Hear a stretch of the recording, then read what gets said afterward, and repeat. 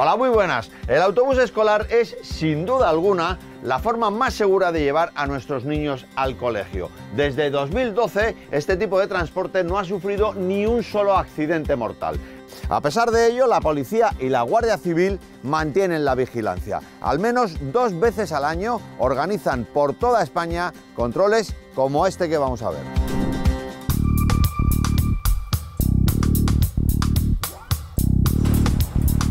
Cada día alrededor de 17.500 autocares escolares llevan a más de 600.000 niños al colegio. Para garantizar su seguridad, la DGT realiza campañas de vigilancia con el objetivo de detectar posibles infracciones en este tipo de transporte. Hoy nos vamos con la Guardia Civil de Tráfico a uno de esos controles.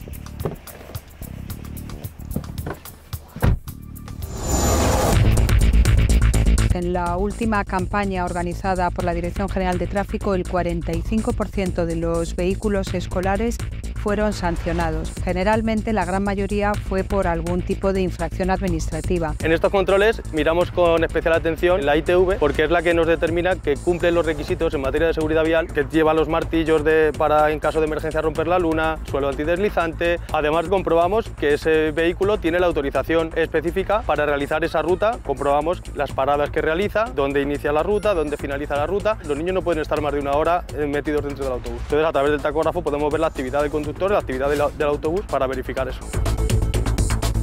La función de que lleven una placa que identifique su función, transporte escolar, es muy importante para advertir al resto de los usuarios de la vía que se trata de un vehículo con niños que están yendo al colegio, sobre todo para que extremen la precaución.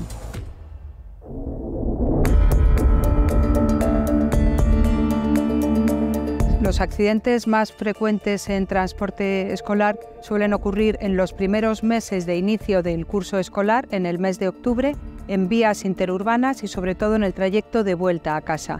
Y el accidente más habitual pues es un choque frontolateral o si no también a veces un alcance trasero. Las causas fundamentales suelen ser la distracción del conductor, no respetar la distancia de seguridad o no respetar la prioridad. Pero también es importante destacar que la subida y la bajada al vehículo que se haga siempre por el lado de la acera y que se haga en orden, evitar los empujones y todo esto porque pueden provocar caídas.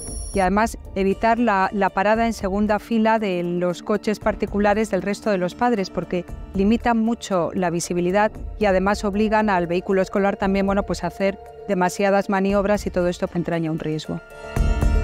Es obligatorio desde, para todos los vehículos matriculados después de 2007 que el autobús escolar disponga de cinturones para todos los pasajeros. No llevar el cinturón de seguridad multiplica por cinco las posibilidades de sufrir una lesión mortal en un accidente. El responsable de que los niños vayan como deben ir sentados y con su cinturón corresponde a la figura del acompañante. Al margen del conductor, que su trabajo es conducir, tiene que ir un acompañante que es el responsable que el transporte escolar es el más seguro que hay en estos momentos y además es 11 veces más seguro que el transporte en un vehículo particular.